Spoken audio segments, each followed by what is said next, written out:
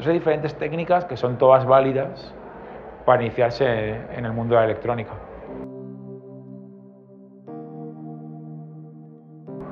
Bueno, lo básico que hace falta siempre tener es un ordenador, eh, un cable USB y una tarjeta para empezar a trabajar. Luego ya en función de lo que quieras aprender te a falta algunos componentes pequeños, como por ejemplo una placa de prototipado básica, unos botones, algo de cable y unos LEDs.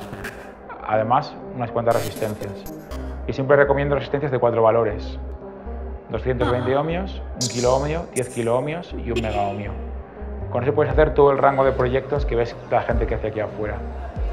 Em, también un piezo eléctrico para tocar sonidos, puede estar muy bien. Un piezo eléctrico tiene dos funciones, se puede emplear para tocar sonidos, se puede emplear para detectar vibraciones. Y eh, algún sensor complejo del tipo sensor ultrasonido puede estar bien para detectar distancia. Un sensor de, luz, una, LDR o un sensor de, luz natural. Y también algunos motores. Entonces, en el mundo de los motores y siempre recomiendo tener servomotores. Son un poquito más caros, pero son muy fáciles de utilizar. Entonces emplearía servomotores eh, estándar y de giro continuo. Eso, sería un pack de iniciación muy sencillo y económico con el que poder empezar a trabajar.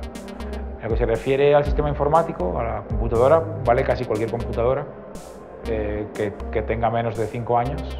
Vale Linux, vale Macintosh y vale Windows, ningún problema. El software se descarga de internet de forma libre y gratuita. Tienes un montón de tutoriales libres para empezar a trabajar. Eh, con los componentes que he dicho, están perfectamente cubiertos y hay todavía muchísimos más eh, para hacer un montón de proyectos. Puedes empezar a trabajar. Por ejemplo, el primer ejercicio siempre es hacer que una luz se encienda y se apague. El siguiente proyecto puede ser tocar un sonido. El siguiente proyecto puede ser leer un botón. Y así todo este contenido está ya disponible y si tienes que acercarte a nuestra página, yo creo que es el mejor sitio para encontrar información eh, directa.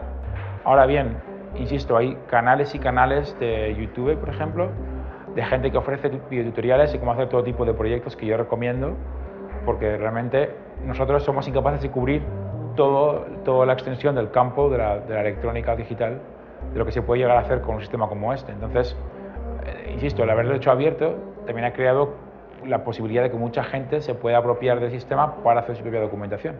Entonces yo recomiendo que vayas a Google y escribas proyecto Arduino sensor temperatura y automáticamente te saldrán miles de respuestas, eliges la que más te guste y puedes aprender desde ahí.